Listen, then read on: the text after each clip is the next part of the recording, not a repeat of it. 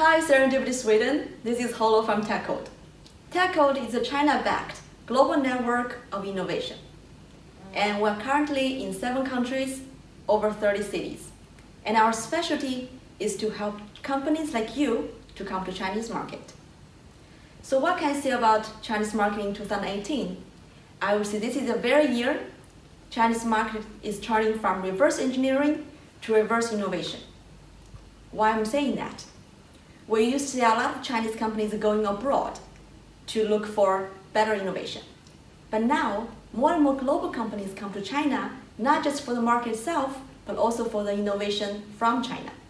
And that, including some of the biggest names from pharmaceutical and automotive companies. So, people often say, be close to your friends and be closer to your competitors. Maybe this is the year you need to make a leap to go to Chinese market or go to Chinese market.